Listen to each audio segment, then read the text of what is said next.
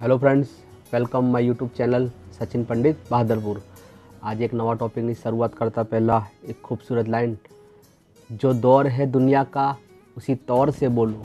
बहरों का इलाका है साहब, जरा ज़ोर से बोलो। इंग्लिश में आवा के कहिए। तो speak with the same tone of the word as it is it's the difference area just speak louder તો ચાલો એક નવા ટોપિક તરફ જઈએ.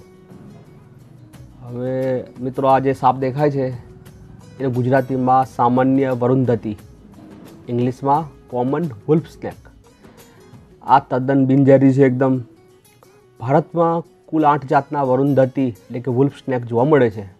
આ પૈકી ચાર જાતના વરુંધતી ગુજરાતમાં જોવા મળે છે. લેટિન નામ આવતા, લિકડાઉન અર્થ એટલે કે વરુ જેવા દાંતવાળો જેવો થાય છે.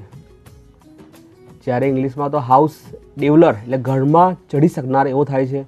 આ સાપને વરુણ દત્તી નામ તેના આગળના દાંત વરુના દાંતને મળતા આકારના હોય તેવું નામ આપવામાં આવ્યું છે. આ સાપ મુખ્યત્વે ઝાંખો, બદામી કે જાંબુડા બદામી રંગનો હોય છે, ભૂખરો હોય છે. તેના ઉપર ઓછા વધતા અંતરે સફેદ કે પીળા પટ્ટા હોય છે. આવા પટ્ટાઓની સંખ્યા બારથી ઓગણીસ સુધીની હોય છે.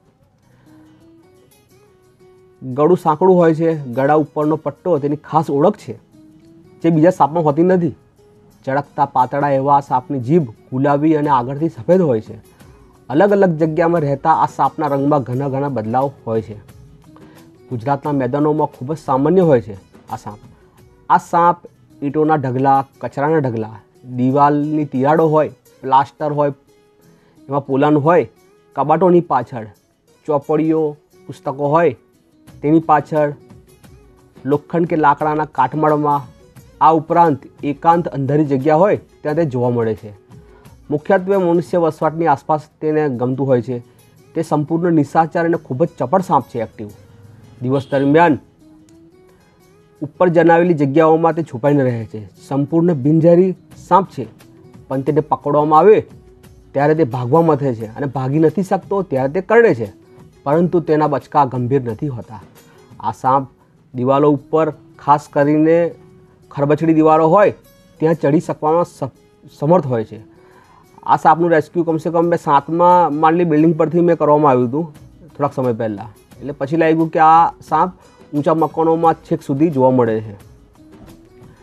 આ સાપ દેખવામાં કંઈક અંશે આપણે ત્યાં ઝેરી સાપ કાળોતરો હોય કોમન ક્રેટ તેને મળતો હોય, આ સાપ આપણાને ગુચમનમાં પમાડી દે છે. ખાસ કરીને જે જેમને બંને સાપને ધ્યાનથી નથી જોયા, તો તેઓ મૂંઝવણ પમાડે છે આપણાને. અને બંને સાપના ઉપરના ભાગમાં પટ્ટા હોય છે. તેમનો દેખાવ અને રંગ કંઈક કંઈક અંશે સામાન્ય ધરાવે છે. પરંતુ વરંધતીના પટ્ટા આ અનિયમિત અંતરે આવેલા હોય છે. જ્યારે કાળો તરો હોય, ક્રેટ, તેના પટ્ટા તૂટક તૂટક બલ્બની મેચામાં ભાગ જોડવામાં આવવામાં આવે છે, દેખવામાં આવે છે. કાળો તરો જાંબુડી કે કાળો રંગ સ્પષ્ટ અલગ તરી આવે છે. જ્યારે તેનું માથું અલગ તરી આવતું જણાતું નથી. વરુંધતીનું માથું સ્પષ્ટ રીતે ગળાથી અલગ જણાઈ આવે છે. આ સાપનો મુખ્ય ખોરાક ગરોડી છે. પણ તેને નાના દેડકા, ઉંદર, જીવડા પણ તે ખાતો જણાય છે. ઈંડા મૂકતો આ સાપ છે. આ સાપ વર્ષમાં બે વાર પ્રજનન કરતો નોંધાયો છે. તેના એક વખત પ્રજનનમાં ત્રણથી અગિયાર ઈંડા મૂકે છે. ઈંડા ચોડાઈ કરતાં ત્રણ ગણા લાંબા હોય છે. જન્મ સમયે બચ્ચાની લંબાઈ છ ઇંચ હોય છે. જ્યારે સામાન્ય રીતે આ સાપ એક ફૂટ છ ઇંચથી માંડીને બે ફૂટ સુધી જોવા મળે છે. મહત્તમ બે ફૂટ આઠ ઇંચનો તે નોંધાયો છે ગુજરાતમાં. અને આ ગુજરાતમાં સર્વત્ર મળી આવતો આ સાપ છે. તો મિત્રો, આવી જ તમને રોજ રોજ માહિતી મળે તો મારી ચેનલને તમે સબસ્ક્રાઈબ કરજો. ચેનલનું નામ છે સચિન પંડિત બહાદરપુર. लास्ट में, बेहद खूबसूरत लाइन। ज़िंदगी के रिश्ते इसलिए भी नहीं सुलझ पाते क्योंकि लोग गैरों की बातों में आकर अपनों से उलझ जाते हैं। तो लास्ट में, जय हिंद, जय भारत, जय गर्वी गुजरात, वंदे मातरम।